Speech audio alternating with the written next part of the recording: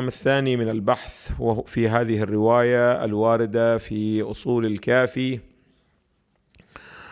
وهي الجزء الأول من أصول الكافي الصفحة واحد وتسعين بعبارة أخرى.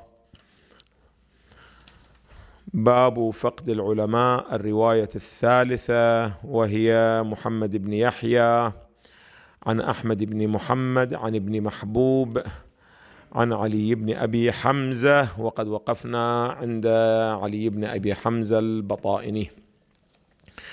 قال سمعت أبا الحسن موسى بن جعفر عليه السلام يقول إذا مات المؤمن بكت عليه الملائكة وبقاع الأرض. إذا يتذكر الاعزه قلنا بقرينة الرواية السابقة عليها أن المراد من المؤمن هنا هو المؤمن الفقيه.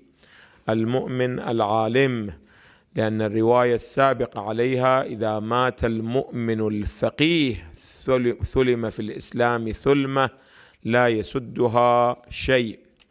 هنا أيضا عندما يقول إذا مات المؤمن بكت عليه الملائكة وبقاع الأرض التي كان يعبد الله عليها. هذه هي من الروايات الدالة والقوية الدلالة على أن كل شيء في هذا العالم له علم وفهم وإدراك ونحو ذلك. منها هذه الرواية حيث قال وبقاع الأرض. بقاع الأرض ما لم تكن تعلم من يصلي عليها ومن يعبد الله عليها.